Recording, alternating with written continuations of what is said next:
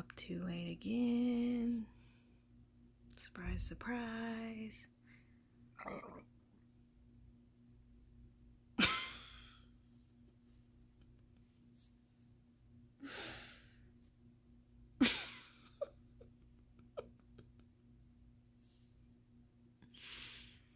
oh, Lord.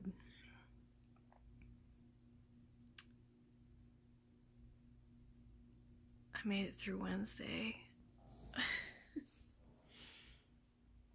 Tomorrow I open. And then I have to keep my stand my ground, keep my resolve, and not stay. Well, I mean, probably should rephrase that. Not come into work and stay all day because I am is being suggested that we do 12 hour days and I'm not doing that. I have had friends tell me multiple times tonight not to do it. So it's not just me saying I don't want to do it, it's also people advising me not to do it, which helps me keep that resolve to say no. Because at the end of the day, it may be moving weekend, but my mental health and my physical health and my sanity are more important than work.